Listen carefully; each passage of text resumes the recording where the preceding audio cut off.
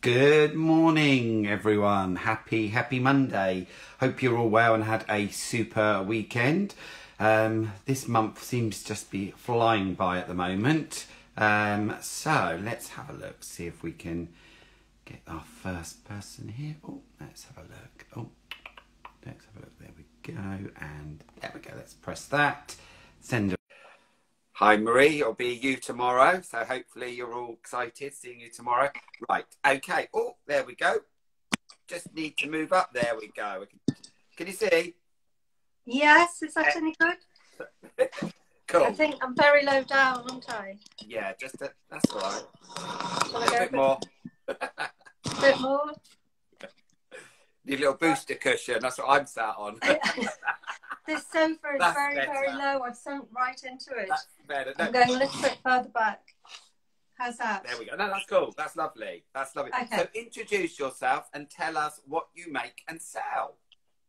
Well, I'm Maggie and I'm an illustrator and I design greeting cards and um, notebooks, stationery, and I also put all my designs onto um, ceramics and bone china, mugs and jugs and things like that. Fantastic. And so, why did you set up your business and how did you come up with your business name? Um, I set up the business because I'd been I'd been hand painting tiles for it's about 13 or 14 years. I had yep. my own business doing that, doing bespoke tile design.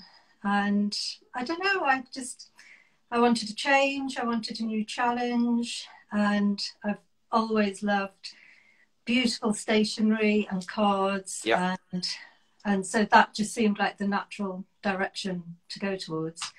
And also with working with the tiles I'd now I'd got a kiln so that's when I started putting the, the designs onto the china as well and then I could fire that and so that brought in the other side of the business as well. Yeah and the name Mumford and Dog because it was me and my dog, Boris, at the time, who's yeah. um, a lovely border terrier who isn't yeah. with us anymore. But right. I've now got a new border terrier called Eddie, so it's yeah. still Mumford and Dog. Excellent. And it also kind of reflected what I did as well, because a lot of the stuff that I do has got dogs on it. Yes. So. Yeah. Um, it's great to have you. But obviously, everyone who knows me is um, one of my dreams is to one day own a border terrier. I absolutely, yeah.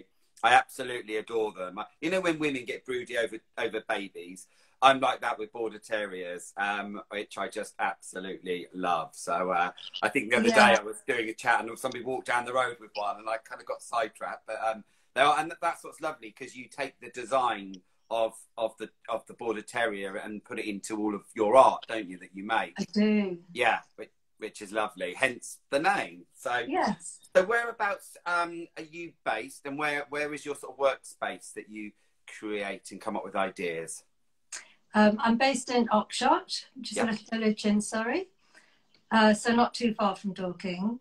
Yeah. Um, and I've got a studio at the end of the garden, which is just fantastic. So I just wander down to the end of the garden and go into the completely different atmosphere. Somewhere sure. where I can just go and paint and Eddie usually trots in behind me and so yeah it's perfect it's Mumford and Dog. Yeah exactly. Your own little space. It's it's so many people have got that where they can just you know to the end of the garden or that room and they can just switch off from the outside world uh, and be creative which is really quite important isn't it it, it is, yeah, and it's looking out onto the garden, and you've got the birds and squirrels, yeah. and so yeah, it's a great, great space. Yeah. So, have you a favourite item to create, and why have you chosen that? I know this is hard. This question sometimes. Um, yeah, it's usually the last thing I've done, but but the notebooks because I've been wanting to do notebooks for quite sure. a long time. Um, so I brought out a few designs just before Christmas, and that that's Eddie.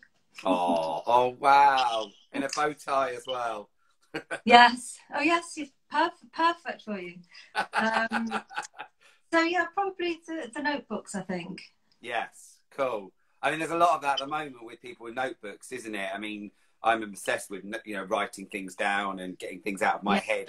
You know, it's great on a computer, but I also I do enjoy writing. I don't know, you know, and you know the different coloured pens when you're doing things. It's really nice to to still write, isn't it? I think it's probably a dying breed as, as people get older. They so rely on their um, you know, their phones and you know text messaging. Where um, yeah, Rob's saying I can hear us shopping already. Um, and it's really nice to write down. And yeah, I like the, the little uh, with the bow tie because we we do bow ties for the dogs. I mean, which I mean, sometimes I think they're more popular with the dogs than they are with human beings. yeah, I'm gonna have to come and have a look at those. Yeah, they're really yeah really lovely actually because they they just go over the collar and they just look. He yeah he looked really cool. Uh, we did do a photo shoot one time. It was in Denbies and we had um, Ian from Hill House Farm has a dog called Ace, so he was our um, our model dog, and he was such a character. One of his favourite things that he liked to eat was carrots. Yes. yeah, Eddie great. likes carrots. Yeah, it's weird, isn't it? It's great. Um, so, as you know, we have an ethos about customer service, about being friendly, creative, and unique. Is there a kind of an ethos or saying that you kind of that you use or stick with? Yeah, I mean, customer service is just yeah. vital. That's top of the list. And, yeah. and especially now, people buying online, the first thing you do is look at reviews and yeah. feedback and reviews. Is just, so you've got to be kind of top of your game. Yep. Um, and the other the other thing is a saying I have that when I'm working on something and I'm I'm not sure about it or and I'm adding a little bit and a bit more and and then I say to myself, don't don't stop till you're proud. Yeah. And that's my kind of because sometimes you have things and they're out there and you think, oh, well, I'm not, I'm not sure about that, not my favourite. So you just just keep going till you're proud, and then you know you finish. So yeah, yeah. That. There we go. Um, it's funny actually. I just thought because um, with the summer event, we, what we do is we have like a playlist of music. We do it with the Christmas, and so I might put that. There's the the um, M people. What have you done today to make you proud? I'm going to put that one. That one's there for you. Okay, I'm going to put that okay, on the, on the playlist for you. What have you done to make you proud? Um, so, um, what are your goals and dreams for this year? Would you say?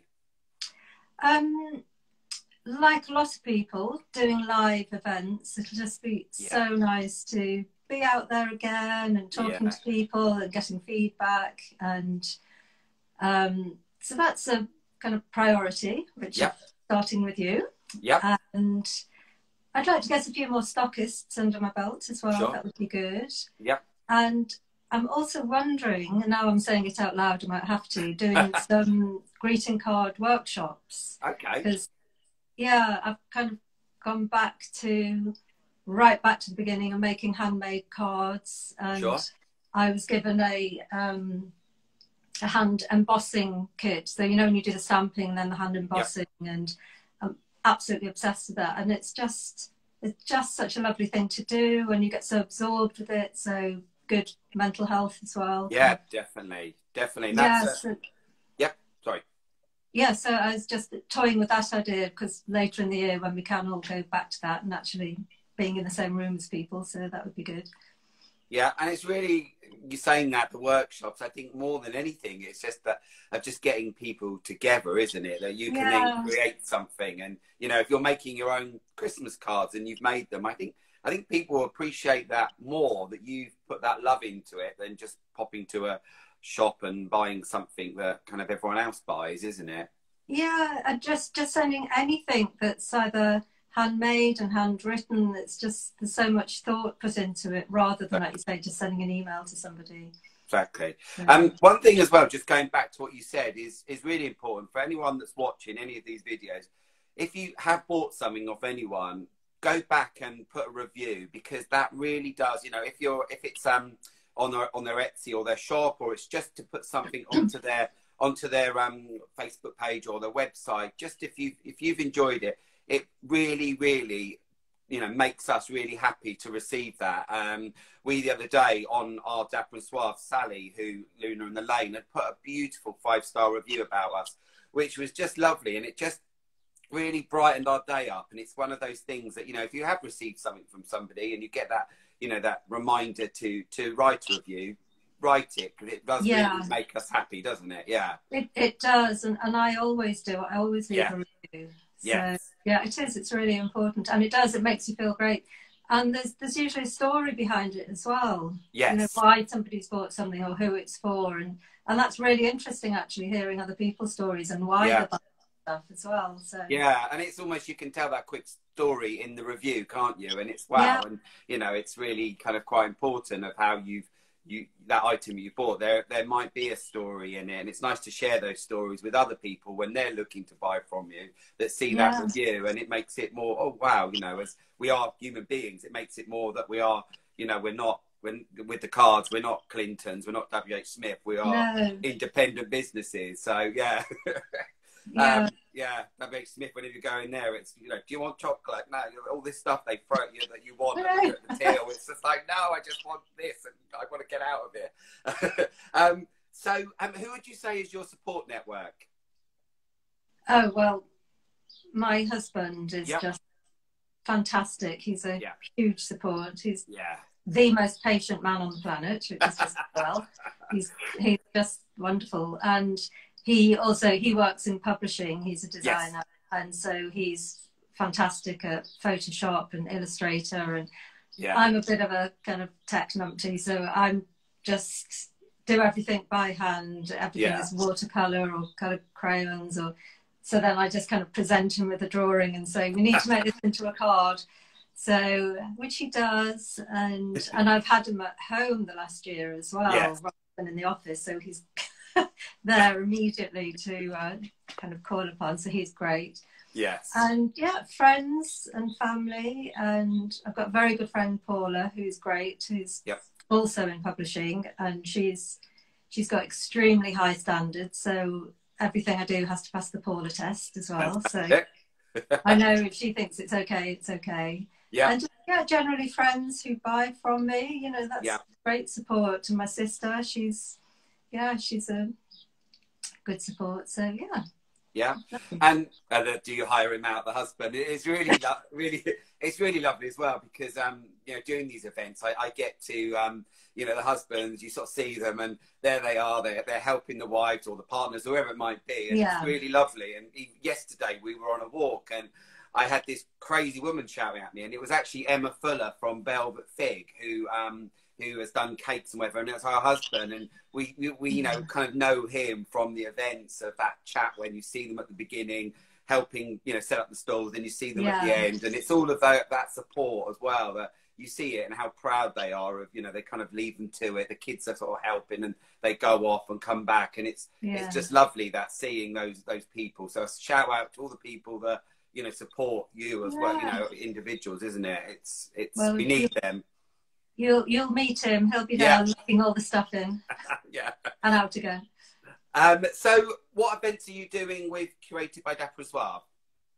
I'm doing the June one, which Yep. I'm really looking forward to, Fantastic. um, and November, which Yes. is great in time Yep. for Christmas. So oh, both perfect timing. and you've got that chance as well, haven't you? By doing two to sort of you know suss out and see whatever, and then sort of like when you're back later in the year, if there are things that people have asked for, and it's also you know ask getting a feedback from a lot of people. If there's a few people that say, "Oh, what about this and that?" Then whatever, there'll Yeah. be the odd person that will say the crazy craziest thing. I mean, you know, we've had it as Dapper and Suave that you know, Yeah. one time, why don't we make uh, ladies' garters? We're like, okay. you know, like for the wedding when they whatever. But I don't think anyone really does that anymore. It's like, but we thought that's not really a dapper and suave uh, ladies' garters, is it? No, what, what I get is because I've got all this range with lots of different dog breeds. Yes. But there's always somebody who wants Oh. a breed I haven't haven't Yeah. got, and then Yeah. oh gosh, I need to expand the range. But yeah, Yeah, and it's funny, isn't it, with the dogs, and then you've got like with Jez coming up, this the design of different villages and that, and she hasn't done the Dorking one, and we were talking Right. about yesterday in the car, thinking, oh, I wonder what she'll come up with, because you know Dorking, you've got the cockerel, you've got the Box Hill, yeah. so um, but I'm sure there'll be people, oh, what about this, what about that? So um, it'll be yeah, be good, good to see what she does. Um, another thing I just wanted to say, just because I just had an email from somebody who's who is a um a stallholder, which is fine, but she asked about June's event if it was not ticketed. And I have to sort of shout it from the top of the roof. The reason that we're doing June and we're doing a bigger event is because obviously we're using stage. This is a ticketed event. We are still working with the COVID regulated guidelines that we use on the last two events. So it's a ticketed event. You need to buy your tickets. If you haven't got a ticket, you won't be able to come in as such because obviously there. So I just want to make sure that everyone is aware of that because I was a bit shocked earlier because I put it on all of the Instagram social media stuff that go out. So it is a ticket event. So any guys that are promoting it, like yourself as well, Maggie, make sure that everyone knows about that they have to book a ticket to come along and see you. Just want to make sure everyone yes. was aware of that. yeah, I have been telling people that. Yeah. And also, just because it's ticketed, you don't have to buy it, it is oh. free to get in as well. Yeah. So, yeah, and, I've been saying that. Also, with that as well, anyone that does buy a ticket and if you have to cancel, please, please, please, please, please can contact Dorking Halls on the day. They're open at 10 o'clock on the day and you can ring them up and cancel your ticket to allow others. Last year at Christmas, we had um, a lot of people, there was 75% of the people turned up, but also 25 didn't. Um, we had people that booked tickets, you know, eight tickets and things like that. We obviously we we did have to turn away about sixty odd people um, because where it was ticketed, they Dorking Halls were expecting those people to arrive. So I am going to be yeah. sort of making sure people are aware of that. If you can't you know you can cancel your ticket. So yeah, just so everyone is aware of that. So there we go. Um, all ticket and just the last question: Why did you um, choose to work with us? Well, it was odd actually. Well, not odd, but I, I no, I was making my list for the next day. This is a few weeks ago. Yeah. And I'd been following you on Instagram, and I'd put on my list contact Dapper and Suave about doing some of their events went to bed, got up the next morning, and I had a message from you saying, wow. "Would you be interested in doing an event?" So, um, so that that was serendipity, I think. So, yeah. And also, actually, another of my sayings I have is um, "leap and the net will appear." Yes. And quite often, especially doing events, you know, you always advise go and see it first, check it out first, and and I hadn't been to any of yours, yep. and and I thought, no, I'm going to leap in the nettle of here um, yeah. and just go for it, which I'm yes. glad I did because now you're completely sold out, aren't you, for all yep. the events? All of the events, yeah. Yeah, so if I hadn't jumped and thought, well, I'm, I'm just going to do it anyway, yeah. I, I, wouldn't be in there at all. So I'm, yeah, I'm I mean, with that.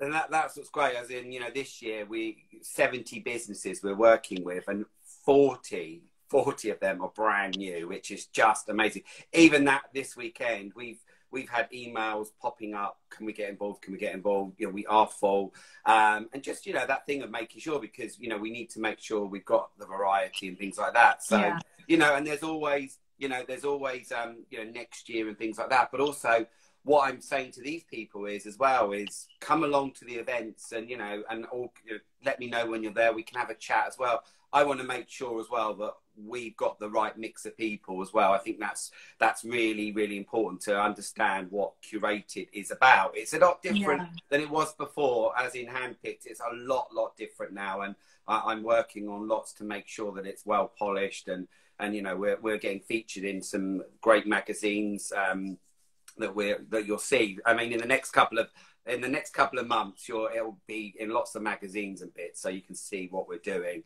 Um, and Emma there, Emma, my friend, silver by the button. You're in safe hands. We, we, we caught up yesterday for a quick chat. It was nearly three hours chatting, which was lovely. so, um, uh, which was really great. No, really, really nice, to, nice to see you today, and Thank really you. looking forward to seeing you in June, like everyone else I am as well. And tomorrow we are back here again with Marie from Teal Creative. So I'm looking forward to seeing her. Um, and yeah, so um, all of um, Maggie's details. You can, this will go out onto um, Instagram, this video, and then onto Facebook, and then onto our YouTube channel, so you can watch it later. That's what I do. I watch it later on, and uh, and and you know it's nice to watch it and you know see what's going on. It's a shame, like I say, these messages that pop up, you can't see them when they're I gone. No, there's some really, really lovely messages there. So um, lots and lots of people there. So yeah, um, great. Uh, enjoy your day. Looks like the sunshine's gone once again. It's. It, I've got the wrong neck on. It's. We were out on a walk yesterday, not knowing what to wear, and it, it was sort of like wrong necks and whatever. And then the sun come out. Then it was cold. It was just crazy. I know. yeah. I know. I just want the sunshine. I want the sun. I, I was supposed to get out in the garden the weekend, and it was it was so cold. I didn't bother. So I'm going to have to make some time this week to do that because I've got lots of vegetables to go out. Anyway, great stuff, and um, see Okay. you all tomorrow. Um, enjoy your holiday as well because you're down in Devon at the moment, aren't you? Yes. Yeah, which is lovely, which is really nice to just to get away from it all, isn't it? So Oh, cool. Beautiful. Yeah, Oh, thank you. yeah. You take care. Lovely to speak to you. All right. Thank you. Bye bye. Thank you. Bye. Bye.